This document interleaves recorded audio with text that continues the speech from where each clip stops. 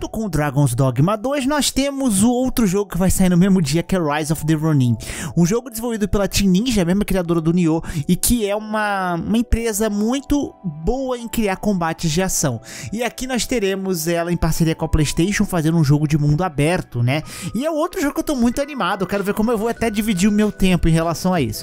Mas nesse vídeo eu quero comentar um pouquinho sobre Rise of the Ronin, para vocês conhecerem um pouquinho melhor o jogo, né? Alguns detalhes que já foram revelados sobre esse game, né? E a gente vai falando um pouquinho sobre ele aqui no decorrer desse vídeo, né?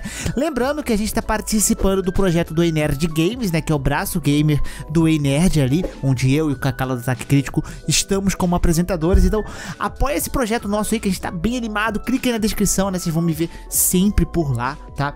E vamos falar disso aqui. Clique aí na descrição também para você concorrer ao PlayStation 5 aí. Já está acabando, estamos aí em torno ali de 70 e poucos por cento, né? Daqui a pouco vai acabar. Então, clica aí para você participar e vem comigo para esse vídeo. Bem, o jogo, né, a ascensão do Ronin, ele se passa ali no Japão no final do século XIX, mais ou menos, né, onde há aquele, tipo, último samurai, né, aquele choque entre a cultura e a tecnologia, onde a gente começa a ter inclusive aquela mescla, né, entre samurais utilizando katanas e também as armitas de fogo, que a gente vai utilizar aí no jogo, né, ela vai ser parte aí do combate do game. A gente vai passar por três grandes cidades da era Edo do Japão, em um mundo aberto, um mundo aberto aí feito pela Team Ninja. Algumas áreas são conhecidas até hoje ali do Japão, como por exemplo Yokohama, né, que acho que é bem conhecida, e tem outras áreas, né, como Kanai, a, a área Edo, que acho que não existe mais hoje em dia, né, Asakusa, Nihonbashi e Kyoto, que é outra área bem conhecida. Enfim, a gente tem várias áreas aí no jogo, né, no mundo aberto, que ele vai abranger cada área com o seu estilo, cada área ali com um pouquinho da sua cultura. E tem bastante ali né, na história desse game é, sobre conflitos políticos, conflitos de interesse e, consequentemente, existem vários grupos ali, né? É uma era caótica e começa em Yokohama, né? Essa história e você vai indo, chegando até outros locais mais avançados, né? Então, essas três cidades aí foram criadas e a gente tem aquele recém, a recém-chegada da cultura ocidental ali, né? Onde a tradição japonesa, inclusive, ela é bem ali representada, né? Fielmente aí na história. Então, o foco do jogo, né? É basicamente um jogo de mundo aberto com várias cidades que se passam aí na época medieval. Junto com isso, né, a gente tem algumas formas de se locomover pelo mapa, né, que é para agilizar o processo. Uma delas que chama bem atenção ali é o planador. A gente tem uma espécie de planador que eu achei muito semelhante com o Batman Arkham, porque a gente tem o gancho no jogo também. Então, assim como no Batman, que a gente tem o gancho do Batman, a gente consegue tipo utilizar o gancho para poder pegar mais altura, né? Se tá caindo altura, você vai, utiliza o gancho, ele vai aumentar a sua altitude de novo e você vai e ativa novamente o planador. Então é muito parecido com o Batman isso, a gente vai ter bastante uso do gancho. O uso do gancho, ele é utilizado, né, também como um planador, mas também para você simplesmente utilizar o gancho para subir telhados e ele também é amplamente utilizado no combate, que a gente vai chegar lá. A gente tem cavalos também e uma coisa bem legal que eu vi que você pode emendar, tipo, você usa o gancho, pega ali impulso com o gancho utiliza o planador na hora que você tá planando, chama o cavalo e você cai com o planador em cima do cavalo. achei bem legal isso aí, né? Então você pode utilizar essas formas aí de locomoção. O jogo também possui viagem rápida em alguns pontos que você vai desbloqueando. E também é um jogo feito de escolhas. Então você tem side quests e essas side quests vão te dar escolhas além da quest principal. Isso aí vai mudar um pouquinho o rumo da história do game, né? E dentro aí ainda desse mundo aberto do jogo, a gente tem encontros aleatórios, que às vezes você tá andando e algo acontece, né? E dependendo de onde isso acontecer, esse tipo de encontro ele é único, ele não vai se repetir. Então não é tipo assim, ah, encontrei um NPC ali que, sei lá, tá machucado, né? Tá machucado, sei lá, lutou com outro samurai ali e tá machucado. Esse tipo de evento, você não vai encontrar um outro NPC que aconteceu a mesma situação, entendeu? Os eventos são únicos e eles não ficam se repetindo. Vamos ver a quantidade de eventos aleatórios que a gente vai ter pelo mapa, porque isso pode ser muito legal, né?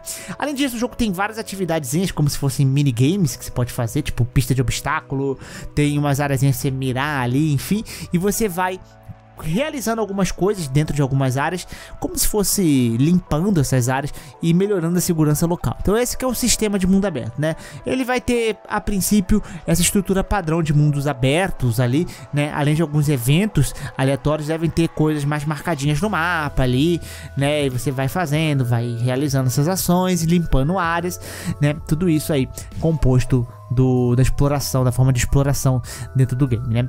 E vamos falar aqui do, do que eu acho que para mim é muito importante, porque é a Team Ninja e a gente tá falando do combate. E assim, o combate deles não vai muito longe do padrão que a gente tem de samurais. Ele lembra um pouquinho do Sekiro, né? É uma mistura com Nioh também. A gente tem, por exemplo, um sistema de uma barra de Ki que é bem semelhante ao Sekiro, né? A gente precisa atacar os inimigos e também quando os inimigos atacam a gente, a gente faz o parry, que é defender no momento correto, e isso vai diminuindo e drenando o ki desse inimigo, onde ele vai ficando exposto e você consegue tirar mais HP ou causar uma finalização nele, né? Mas também tem uma habilidade um pouquinho diferente, eu ainda não entendi 100% como ela funciona, mas se chama Counter Spark, que basicamente é ao invés de você defender, você aperta o triângulo, que o personagem meio que cria uma postura defensiva, pelo que eu entendi, né? Então, tipo, ele gira a arma ali e você consegue defender né, ataques que a princípio são ataques que você não consegue dar parry. Então a gente tem, né, ataques que você, por exemplo, se você defender em cima da hora com parry, esses ataques são impareáveis, então você vai tomar dano, né, ou seja, na sua barra de postura também você vai tomar dano. E você dando o Counter Spark, né, que é utilizando um outro botão do controle, você vai conseguir, né, dar um parry nesses ataques. Mas o Counter Spark, até onde eu vi, ele aparentemente deve ser lento, deve ter uma animaçãozinha para você fazer e tal, não deve ser tão imediato como o parry, né? E Falando nisso, a gente tem vários tipos de inimigos. A gente viu uns inimigos grandões, com umas katana enorme, outros tipos que parecem um ogro. Tem um que utiliza umas garras, tipo do Wolverine, um outro inimigo que lembra um pouco até o do Sekiro. Né? Então a gente tem vários estilos de inimigos, mas não me aparenta ter inimigos sobrenaturais aqui, como Nioh, como o Sekiro. Eles são inimigos humanos, só que alguns humanos meio bizarros, assim, né? Então não deve ter esse elemento fantasioso na história. E a gente tem a série de variedade de armítias e também o estilo de combate, que é algo que eu falei até que lembra um pouco Nioh. Existem. Não chega a ser posturas aqui como Nioh, que é a postura alta, baixa. Aquelas são conhecidas por estilos de combate. Então, tipo, são estilos de técnicas de um mestre de um clã que o moveset da espada funciona de uma forma diferente né? Eu, por exemplo, tem o estilo Mumio, que chama. Aí tem o estilo Hokushito, que também é uma outra forma de segurar a espada. Você dá movimentos mais ali na vertical, por exemplo. Aí tem outro estilo que é o Yagi Shinkage. Então são vários estilos diferentes, né? E a princípio você tem esses estilos aplicados também nos outros tipos de arma. Porque a gente tem katanas, a gente tem lanças, a gente tem. É, tipo dual katana, né? O Nitório ali da vida, é, espadas grandes. E também a gente tem ali as armas de fogo, né? Então tem tipo armite, a pistolinha, tem um, um, que é tipo um, um lança-chamas ali mais, né, antiquado da época. Então a gente tem uma variedade. E uma coisa que eu gostei desse combate, né, é que ele parece ser muito assim, fluido em questão de você trocar as coisas. Tipo, você ataca, troca o estilo, aí você vai, puxa o inimigo com um gancho. Depois que o inimigo vai atacar, você vai dar uns piu-piu-piu com a pistolinha, né? E aí você meio que tira ali o, cancela o ataque do inimigo, aí puxa com gancho de novo, pula. Você tem, né, o stealth também no jogo, que me lembrou até o Batman barra Homem-Aranha ali, que você consegue é, puxar inimigos com gancho e eliminar ele silenciosamente, ou às vezes inimigos que estão um pouco mais alto, você puxa eles e finaliza.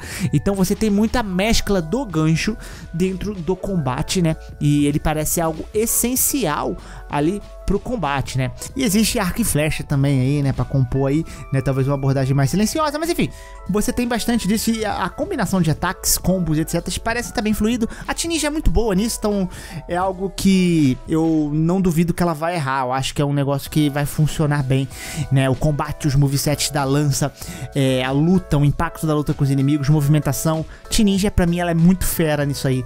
Então, eu acho que vai ser inclusive o ponto alto do jogo, talvez melhor que até o mundo aberto, seria o combate de Rise of the Ronin. E, guys, basicamente é isso daí o jogo, né? Ele vai sair agora para PlayStation 5, né? Dia 22, mesmo dia do Dragon's Dogma. E esse daí é o Ascensão, ou Rise of the Ronin, chame como você quiser. É outro jogo que eu estou muito curioso para jogar. Pena que ele vai competir espaço com outro jogo que também é muito bom, cara. Eu queria que um dos dois mudassem a data, mas já tá tão perto que eu acho que isso nem vai rolar. Mas vamos ver como é que vai ser, né? Eu devo trazer aqui no canal também um pouquinho sobre esse jogo, é claro. E eu fico por aqui. Eu espero que tenham gostado desse vídeo, meus muchachos. Eu fico por aqui. Um grande beijo, um grande abraço, um beijo no popô. Até a próxima. E tchau, tchau.